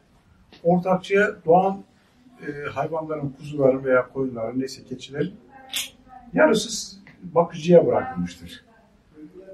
Diğer yarısı gelirleri yarı, yarı yarıya verilmiştir. Yaşlı hayvanlarda satışının yarısı bakıcıya bırakılmıştır. Bu şekilde bir sistem Çok güzel ama sistem yani E, kişilere bir iş imkanı sağlanmış. gelir imkanı Gelir sağlanıyor. imkanı sağlanmış. Bunlar da paralarını değerlendirmiş olmuş. Bu şekilde ticaret bizimkiler. Bundan mütevellit gittiğiniz zaman e, halkta ben bunu gördüm. Erdem ailesine, Hacı Abdullah Bey'e falan çok büyük bir saygı var. Ama bu saygı şeyle ilgili değil hani böyle e, korkudan gelen ya da Yok canım yani bir, hiç Hep- ben- korkacak yani bu dünyada artık böyle hiçbir şey değil. zaman öyle bir şey yok. O zaman da yoktu. Yani e, büyük bir şöyle bir saygı var. Diyorlar ki bu adamlar baştan beri adaletli insanlar ve herkesin şeyine kötü gününde yanında olan insanlar diye. E, Birçok olay yaşanınca da husumetleri yine bu ailenin o saygısıyla Ama buna rağmen mesela aile içerisinde mesela aileye karşı olanlar da var. Yani Var rakip ki- olanlar da var. Rakip olanların da e, kendilerine göre biz e, beyler zulmetmiş gibi oluyor yani. Zulmedilen bir şey yok yani. Ama şey adı yok. Bey bir kere yani. Yani orada Bolu, Bey, Bolu Bey gibi Bolu bir kere adınız yani Kimseyi şey şöyle bir şey birine eğer hüküm, hüküm verecekse biri haklı olacak biri haksız olacak. O kararı doğru vermişler mi? Önemli olan o. Evet evet evet muhakkak. İşte Gazali'nin o kitaplarında da onu görürüz. Evet. Peki yani. bitirmeden önce Savur hakkında şu olsaydı iyi olurdu, bu olsa daha güzel olurdu diyebileceğiniz bir şey oldu mu sizin düşünceniz? Elbette yani şimdi mesela ben 1970 yılında ayrıldım. Zeynel Bey 1967 yılında veya 64 yılında ayrıldı. Ee, Birçok okumuş insanımız An- e, Savur'un dışında e, görev yapıyor, ticaret yapıyor. Hiçbirimiz Savur'da değiliz. Keşke hepimiz Savur'da olabilseydik. Keşke Ama hepimiz bunları Savur'da... başaramazsınız. Eğer yani bu kadar insan çok önemli işler Abi yapan... Savur'u çok seviyoruz. Savur'u, Savur'u çok seviyoruz. Bakın Savur'la övünüyoruz. 2 saattir, 3 saattir Savur'u konuşuyoruz. Evet. Yani Savur'u e, bu kadar seviyorsunuz. E, bir- Orada artık yaşamak Ben size şöyle bir şey söyleyeyim. Ama- bey ailesi Savurlu olmaktan dolayı pişmanlık duymamıştır. Savurlu olmaktan dolayı gurur duymuştur. Ben Savurlu olmaktan dolayı büyük bir şeref duyuyorum. Savurlu e, hemşerilerimden de övünüyorum. Savurlulara hizmet etmek benim boynumun borcu. Gücümün yettiği kadar ben görevdeyken Savurlulara çok büyük yardım ettim. Akrabalarım da öyledir. Bizi eleştirseler de, bize yanlış eve ödövseler de, e, sövseler de, O kalbinizden geliyor. o savur, savur, savura ve savurlulara karşı sevgimiz bir zaman azalmış. Biraz siz diğerlerine göre şanslısınız. Çünkü neyi gördüm biliyor musunuz? Her taraf taş toprak da sizin oraya gidince Savur'a ya o kadar güzel yeşillikler, öyle bağlar, bahçeler var ki yani Savur e, Midat'ın merkezine göre iklim olarak, yeşillik olarak çok avantajlı. Şimdi e, bir talihsizlik yaşadık. Bir deprem sonrası, Evet. Bingöl depreminden sonra Savur, Savur suyunun kaynağında bir değişim oldu. Aa, Dolayısıyla Savur'un suyu eskiden Savur çayı e, 4 metre yükseklikte e, balıklama atlanabilirdi. öyle. Şimdi artık e, çok az bir su geliyor. İkincisi Savur'un etrafındaki alt e, sular e, beyaz su yakın bize. Oranın, oradan çekilen suyla e, Cizre, Nusaybin, Midyat, Edil, Mardin, Derik, Kızıltepe içme suyu ve ihtiyacını oradan Sizin karşılıyor. oradan gidiyor. Oranın kaynağında. Oradan su çekilince bizim su kaynaklar da azaldı. O yeşillik azalıyor. O yeşillik, yeşillik de azalıyor şu an. Ama hala yeşildi. Ben Ama evet, yani yeşildi. tabii elbette yeşil. Hala yeşil savun. Bağ, bağları, bahçeleri. Bağları, bahçeleri, ondan sonra sanatları filan. Ya Savurlu yani gerçekten... Övünüyorsunuz Savurlu Tabii olmakla. e, elbette yani Savur bizim Hayatınızın hiçbir şeyinde e, yüksek mevkilere bile insanlarla tanışırken ben Mardinliyim, Savurluyum derken böyle çekindiğiniz oldu mu? Hayır hiçbir zaman. Hiç olmadı. Hiç olmadı ve hep övünerek. Gururla söylediniz. Evet, hatta şöyle bir şey söyleyeceğim. Ee, bürokrasi üst makamlara gelince arkadaşlarımız, okul arkadaşlarımız bizim yanımıza çekinerek e, gel, geliyorlardı benim yanıma. Ben de dedim, hayır kardeşim. Ben sizinle çocukluk arkadaşıyız. Yani o topraklarda hasbelkader ben buraya makamlara geldim. Siz de gelebilirdiniz. Siz geldiğinizde ben sizin yanınıza gelecektim. Heh. Ya bu böyle devam ediyor. Bu Evet bu gelenek var. Savurluların tümünde var. maşallah. Bu bizde de var. Zeynep Bey'e bugün hangi, hangi savurlu gelsin? Gel. Hemen yardımcı olur. Diğer akrabalarımızdan da, diğer hemşehrilerimizden de, çocukluk arkadaşlarımdan da. Ee, E, Sadece Savurlu değil ki ben Nusaybin'le konuştum. E, Nusaybin'de de çok seviyorlar. evet. Yani sadece bütün Mardin'i seviyor. Evet. Ha, bu hani e, şöyle olur şimdi.